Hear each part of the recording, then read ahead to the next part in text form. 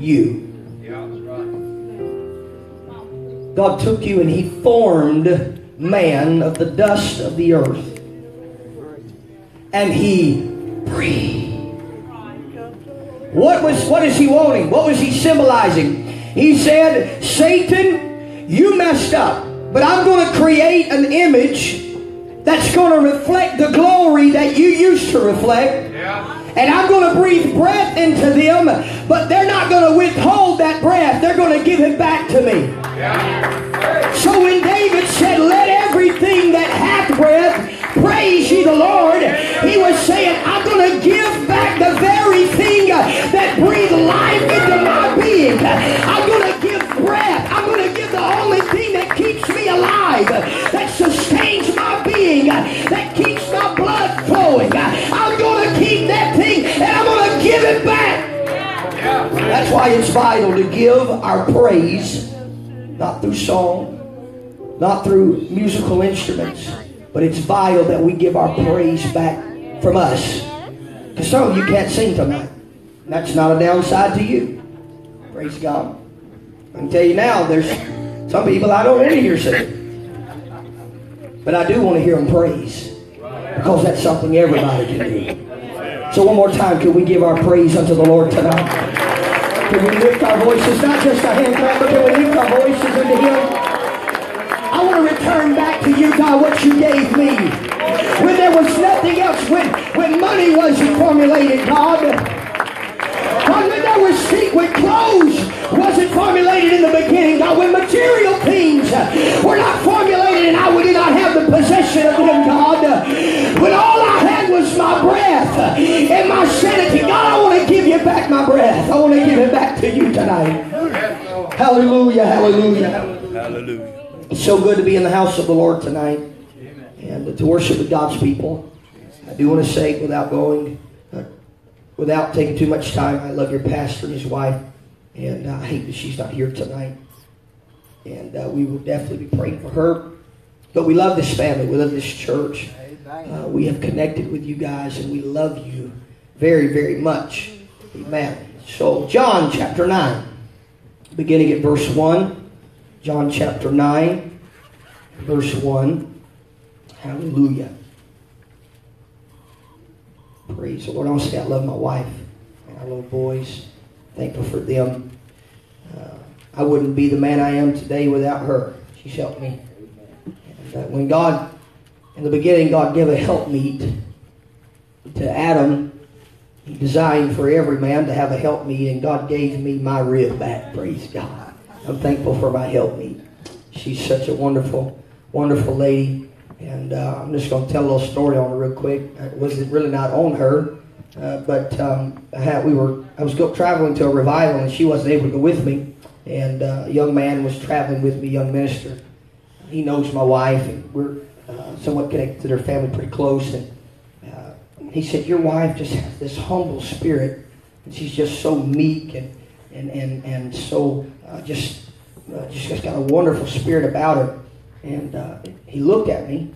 He put me in a hard spot. I was agreeing with him all the way up until he said this. He said, "Does your wife ever get mad?" She wasn't there to defend herself. And I said, Brother, I'm not going to answer that question because I don't want to taint your view of my wife. I love my wife tonight. She's such a beautiful beautiful lady of God, and I'm thankful for her and her support. John chapter 9, verse 1. The Bible says, And as Jesus passed by, he saw a man which was blind from his birth. And his disciples asked him, saying, Master, who did sin, this man or his parents, that he was born blind? Jesus answered, Neither hath this man sinned nor his parents, but that the works of God should be made manifest in him. I must work the works of him that sent me while it is day. The night cometh when no man can work. As long as I am in the world, I am the light of the world. When he hath when he had thus spoken, he spat on the ground and made clay of the spittle, and he anointed the eyes of the blind man with clay. And he said unto him, Go wash in the pool of Siloam, which is by interpretation sent. And he went his way therefore and washed and came seeing. Tonight, the help of the Holy Ghost, I don't know how long I'll be. Probably not too long. But I want to preach for a few moments on this thought tonight. The steps that led to my, you fill in the blank. Whatever you need tonight victory, healing, salvation, deliverance, whatever it is. Tonight I want to preach the steps that led to my, whatever you need. God, I ask you today that you would minister in this place. I'm asking you, Lord, to take your word that's already anointed God, let it be distributed in this place tonight. I pray tonight, Lord, that you would move up and down these aisles, that your anointing would fill this house. Lord, that everything that we do in this place will be pleasing unto you. I'm asking you, Lord, to anoint my mind, my lips of clay tonight to speak what thus saith the word of the Lord. And God, I'm asking you to anoint your people that we would receive with hearts open. And God, with our hearts abandoned, God, that we would give you back what you have rightfully deserved. And God, we're going to give you you praise. We're going to give you glory and honor in the name of Jesus, we pray. And everybody say amen. amen. Clap your hands unto the Lord as you're being seated tonight.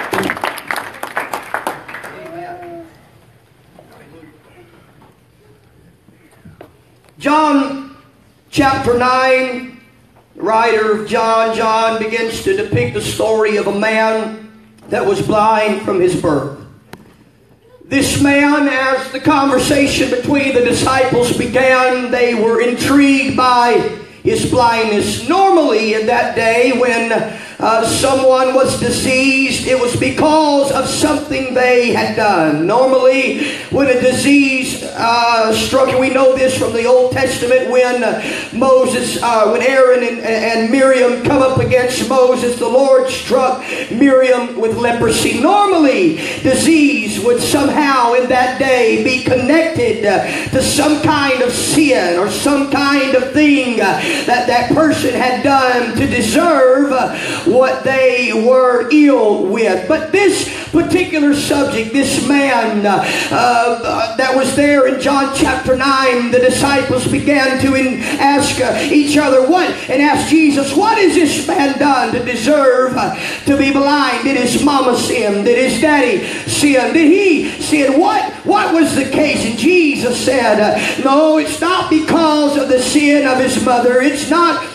because of the sin of his father. It's not because uh, of his own sin. Uh, but this man is blind because uh, that the works of God can be done in his life. What Jesus was saying was this man is facing this illness so that God could get glory. So many times we walk through life and we don't understand the situations that we're up against. We walk through life with questions uh, that are so unknown to us.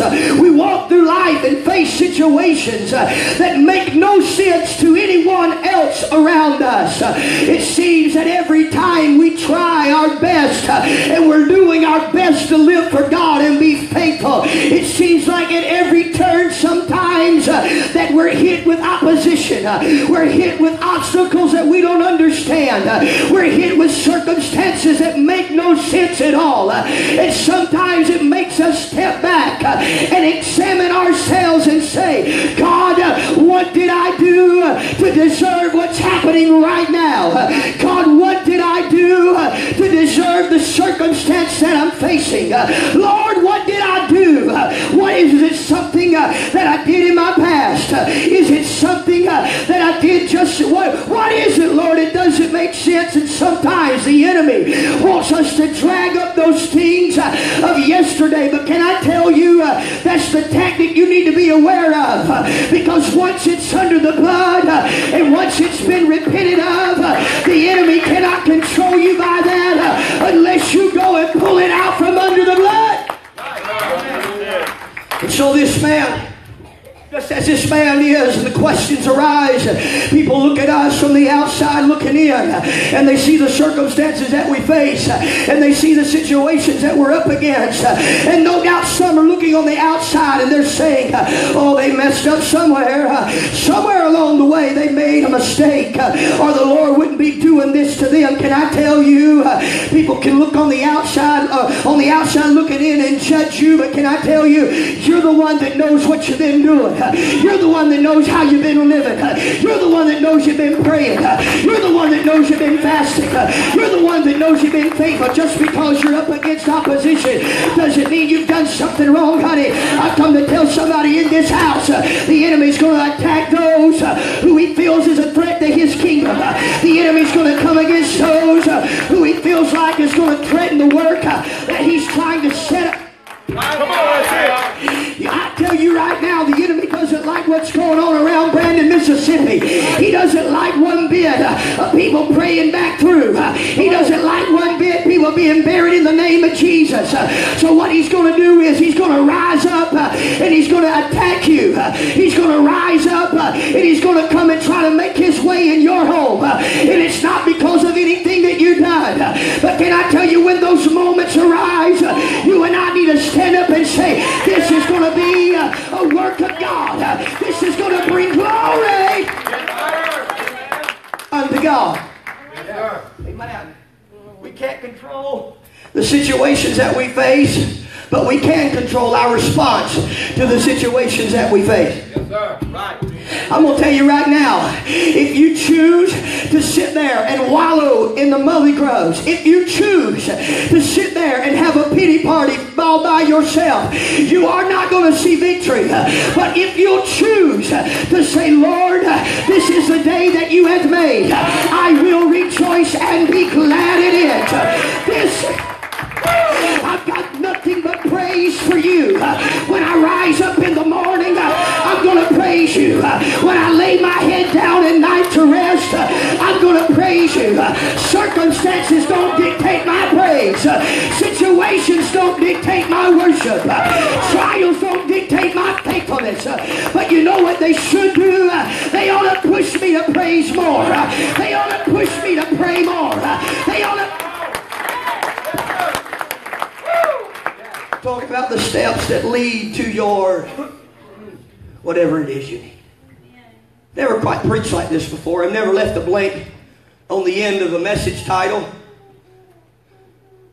The day as we were getting ready and we were trying to get, I was trying to get the mind of God for this service. I, this has been on my mind all day today. And it was almost like, Lord, I could put a, I could put a fancy title to it. But you know what? I, I feel like the Lord just really dealt with me and said, You need to leave it open so that they can identify with me what's going on in their world. Sometimes self identification of what we're going through brings victory a lot sooner than what we would if somebody just tried to live. Well, I need victory. Well, there's a lot of us in here that needs victory. Well, I need to live. There's a lot of us in here that needs to live. Can I tell you tonight? You need to stand up and say, God, I identify in the Spirit. I identify, God, this is what I'm going through. I don't want some, I want to make this personal. I want you to know, God, that although my situations seem hard and although my situations seem bleak, I want you to know I'm still in your house and I've still got praise. I've still got a little bit of worship left in me. I still got something down on the inside. Hey, I'm going to let it out. So, this blind man, Jesus comes to him after they have a, a dialogue of discussion. Jesus said, I'm the light, and, and all these things. He comes so that the work of, work of God could be done, and all of these things are, this conversation is going on. When Jesus just stops after his conversation and he looks at the blind man. And the blind man knows he's blind. Everybody else knows he's blind. And Jesus pegs it. Says, come here. So, I don't know how, what happened, what transpired, or if Jesus went to him or what happened. But I can tell you that the Bible says that Jesus stooped down on the ground and the same dust that he formulated yours and my body, he spit upon that and made mud balls and stuck them in the eye sockets of a blind man. What a miracle. Can I tell you tonight that some of us, we expect God to do a miracle one way, and we've missed the miracle because God's trying to do it another way. I don't want to put God in a box that says, God, you got to do it this way or it's not going to happen. No, I want to say, God, I'm here. Whatever it is, however you're going to do it, as long as you're going to do it through me, I'm okay with it. If I've got to step out and do something crazy, I'll do it. If I've got to step out and do whatever you're telling me, it does not matter Lord, to me as long as I'm in your will, as long as I get deliverance, as long as I get as I leave with peace of mind, as long as I leave with joy, as long as I leave full of the Holy Ghost. It doesn't matter what you ask me to do. I'm going to do it because I'm desperate for a change in my world. Yeah. So, this blind man, I'm looking for a good blind man tonight. I can't find one. Praise God. Brother, come help me. You just come help me. You just, you a prime subject there. Come on here and help me. This blind man, where's that towel, brother, that you had? Can I use it for a second? It's a lot bigger than my towel. Oh, well, I'm, not going to say I'm not, brother. Take your glasses off.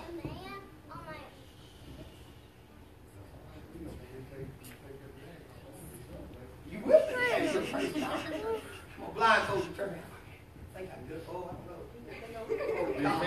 I'm going oh, to hold it like that right there. I'm going to hold it like that right there. Okay.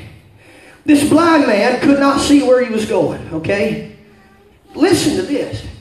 Jesus said, after he had spit on the ground, formulated some mud balls, put them on this man's eyes, the next command, it was, it's so, it's just, it, I mean, in our thinking, we're like, why in the world?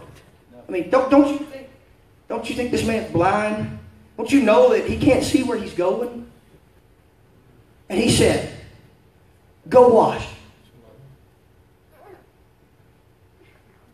That's what some of you doing tonight. God's saying, go. And we're like, what? Don't you see where I am? Don't you see what I'm going through? Don't you understand my circumstances? Go wash.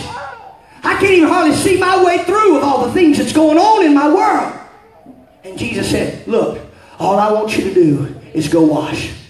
I read some things today on this story, and one of the things that I read was that this man, this this this getting to where he needed to go was not an easy task because no doubt everywhere in the scripture that we read, there's multitudes of people thronging Jesus. So the first thing he had to deal with was the crowd. Or his blindness in the crowd. The second thing he had to do was the crowd. The third thing was he had to make his way through. And so he, he said, Jesus said, go wash. Guess what he does? He goes. The, this, this person said, of his best calculation, that it was about a thousand yards from where he was to the pool. Now, brother, go. Uh huh. Just keep walking. Whoa. Along the way, along the way, just come back over here. Along the way, I can imagine, just stand there, I don't want you to fall. I can imagine along the way that this man stumbled and fell.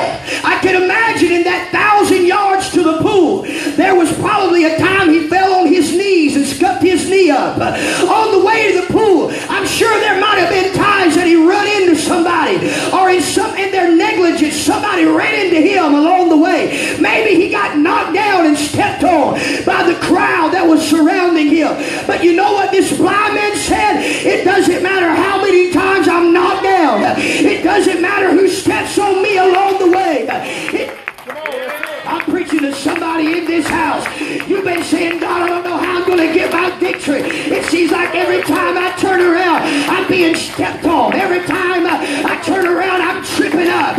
Every time I turn around, I'm hitting the ground. And the Lord says, yeah, you may have fallen. You may have scuffed your knee along the way. You might have been stepped on while you were down. But do you have enough in you uh, to get back up uh, and get the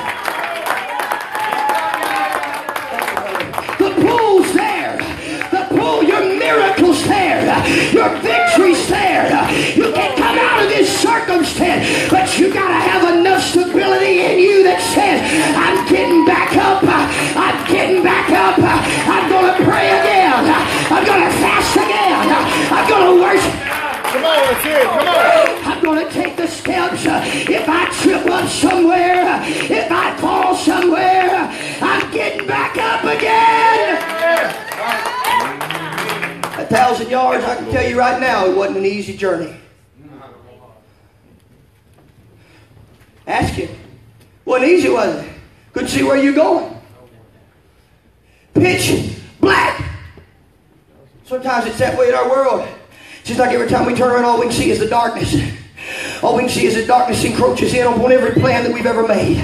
All we see sometimes is the broken dreams, the shattered things in our world. And we look at them and we say, God, how in the world are you going to be able to put back together those I trip and fall in my dreams they shattered. I tripped and fell in my life it was broken into pieces. God, I don't understand why. And the Lord simply sent me here to tell you tonight there's some steps you got to take to get to what you need.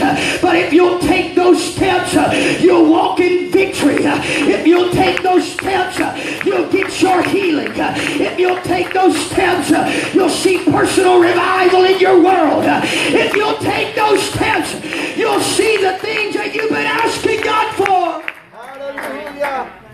Wasn't easy. Quite frankly, I believe some of us tonight, I don't know how I would have responded. Be quite honest with you. Blind, and Jesus says go.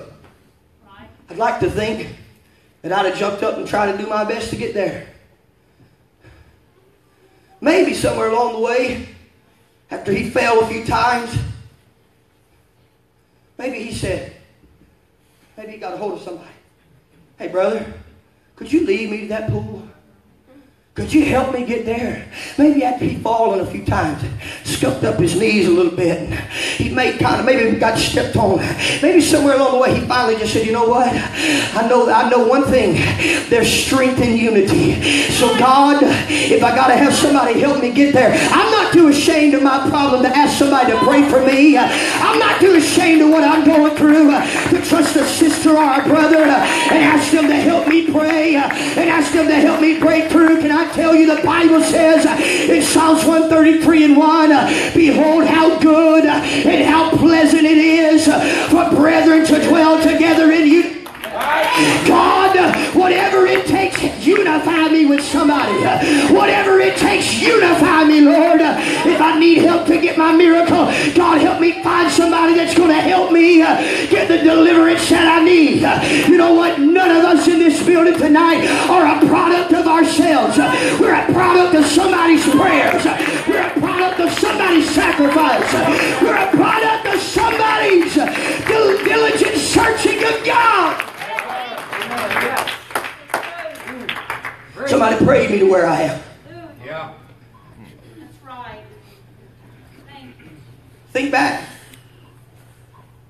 Why are you here? That's right. Oh, hallelujah. Who was it that brought you to the house of God? Who was it that asked you to come and be a business with them?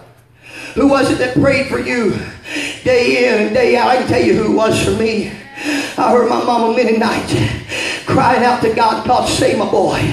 God, you made him promise after promise. I've heard my daddy say, God, you're going to have to save my boys. I've heard him pray for my brothers. I've heard him pray. My mama pray, God, they're in sin, but Lord, you're able to bring them out. Can I tell you, I'm standing here preaching the word of God to you tonight because my mama and my daddy refused to quit praying. Can I tell you, you may feel like, oh, it's hopeless, it's useless. Just stop praying. I'm just going to stop. I'm just going to give up. Can I tell you, don't give up. Your prayers are going to be answered. There's just some steps it's going to take to get there. Yeah, it may look like they're falling down in the miry clay. It may feel like they're going, they're going to seek in their despair and their demise. But can I tell you, your prayers is what's going to bring them out. Your prayers is what's going to see, see the deliverance in their world. Your prayers is what's going to make the difference. God help me. Help me take the steps that I need to that's going to lead me. It's not going to be easy, brothers and sisters. I know it's simple tonight. I'm telling you. I'm here to tell somebody right now in the Holy Ghost. You're saying, oh, it's so hard. I don't know how much more I can take. I'm telling you, keep praying. Bind together with somebody. God's counting on you to make it. God's counting on you to come through. There's somebody that's dependent on you. You may not see them. You may not hear. Uh, you may not know that they're looking up to you, but there's somebody looking up to you uh, that's saying if they can come through this, uh, then I know God can bring me out of what I'm in. God's saying, hey, I want to bring you out. Can you trust me? I want to deliver you. Can you trust me? I want to fill you up to your cup running over. Do you trust me? Can you depend on me? I know it don't make sense right now. I know there's silence and it seems like no everywhere you turn that it's trouble on every hand. But can you trust me? Can you put your hand in my hand? And when it seems like there's silence in your world, can you keep praying? When you feel like there's no strength in your body, can you keep praising? When you feel like you can't go on, can you pick your foot up one more time and take another step? You could be one step away from your miracle. You could be one step away from your deliverance. You could be one step away from God showing up and bringing you out. Praise the Lord. Hallelujah. Thousand yards, I don't know how many steps it took. But I can almost hear that blind man say, one more step. One more step. One more step. One more step. I can't see it. Don't know how I'm going to get there. But one more step. Come on, help me get there. Come on, I can assure you, if he had somebody help him, he probably would say, hey, come on, you got to help me get there. Whatever it takes, push through the crowd. If we stumble, that's okay. Just get me to the pool. Because in the pool is where my miracle is. In the pool is where my miracle Somebody in this house tonight, you just got to stand up in your spirit and say, God, I'm going to the pool. I'm going to, that's where my miracle's at. I'm going to the pool. Regardless of what people say, regardless of how they look at me, I'm getting to the pool. You know why? Because people don't know what I'm going through really in my mind. People don't know what's going on in my world. But can I tell you, you know, and you're the only one that can make the difference if you'll just keep on. Amen. Keep on walking. One more step. Every step you take, you're a step closer to victory. Every step you take, I'm one step closer to my breakthrough.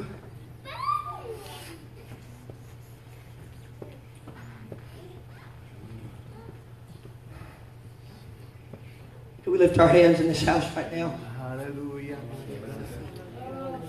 Come on, I got to get to Jesus, whatever it takes. Come on, I got to get to Jesus, whatever it takes. Come on, somebody's dependent on me. Come on, somebody's dependent on you. One more step. One more step.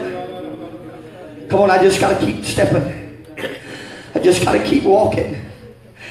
God's strengthened your people tonight. Come on, I know the journey, sometimes it gets long. I know sometimes the battle, it gets tough. But can I tell you, sir, somebody's depending on you. Can I tell you, ma'am, somebody's depending on you. However, you got to get there, just get there. However, you got to do it, just do it. But you've got to break through. Maybe somebody's spouse is depending on them tonight. Maybe somebody's son or daughter is depending on you tonight. And if you give up before the pool, then what's it, what's going to happen to your family? If you give up before you get to the pool, what's going to happen in your world? If you give up before you get to the pool, Come on, there's always going to be a reason why we can't. But God's given us the power to pull through. God's given us the power to make it. God's given us the power to walk in victory. I don't know who I'm pulling for tonight, but I'm telling you, you can't give up here. You can't stop here. Come on, I feel the weight. I feel the weight. I feel it. Come on, you feel like you're so suppressed. It feels like there's no way you're going to die. You're going to perish under the pressure. I've come to tell you tonight you don't have to perish in the pressure. Come on, you don't have to give up where you are. Come on, there's people around you that saying you can make it. There's people surrounding you that say you can pull through. There's people surrounding you tonight that says you don't have to die in your dilemma. But you got to make that, that step. You got to make that choice. I'm getting up from where I am. I'm not going to perish here. I'm getting up from where I am and I'm going to take the steps that I need to take uh, to get to the pool uh, because that's where my miracle is. Jesus' name.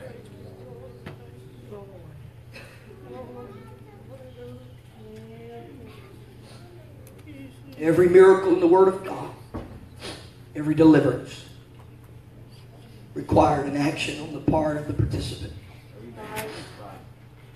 Everything that we get. Let me tell you something tonight. The only gift that God's going to give you is the Holy Ghost. But after you get the Holy Ghost, you're going to have to fight to keep it. You're going to have to fight temptation. You're going to have to fight discouragement. You're going to have to fight the oppression of the enemy.